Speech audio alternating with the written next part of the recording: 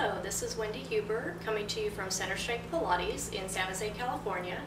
And today I have a back stretch to share with you, a tractioning stretch that I came up with for myself because I suffer from low back pain and um, have some herniated disc issues from many years of gymnastics.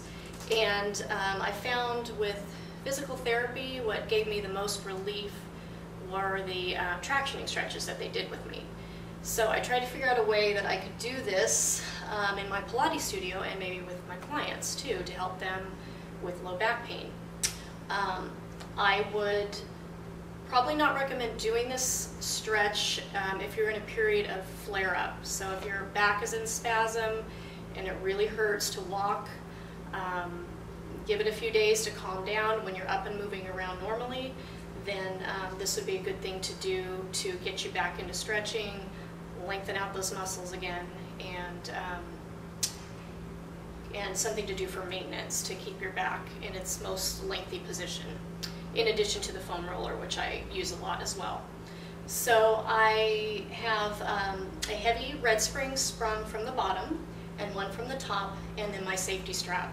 Safety strap is very important. Um, it's key in this to keeping the bar immobile. So um, I've also padded the bar with uh, towels and a sticky mat as well so that um, it's not so uncomfortable on the back of the knees.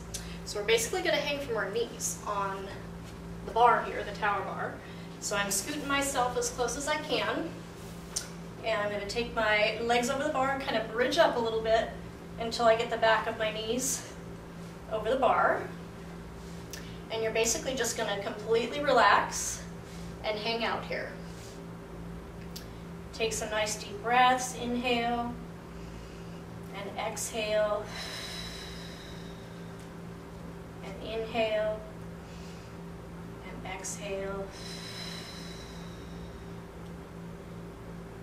And as you hang here, you'll start to feel the low back lengthen out. You'll feel your hips lengthen out as well, which um, often get tight too in conjunction with low back pain.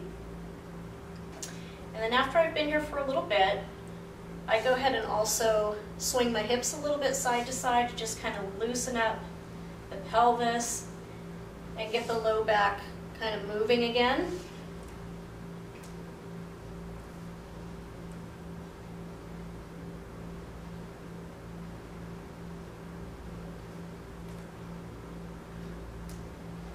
And then go ahead and go back to center and try to breathe into it a little more and see if you can drop a little more down.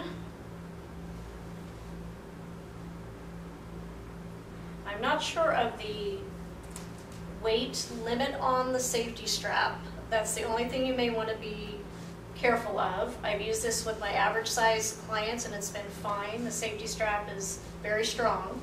Um, but you want to keep that in mind if you have a larger person that um,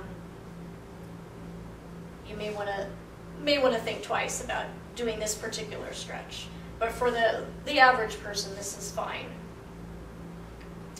And then what I like to do too, in addition, is I put a box back here with a handle on it, or you could even stand and pull your client's hands as well.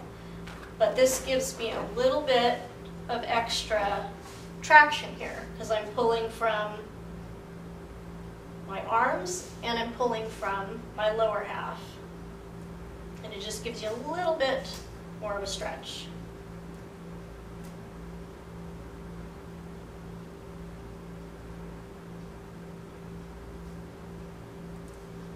And then to come down, just kind of walk your knees back and I just kind of roll down as if I'm in a bridge here.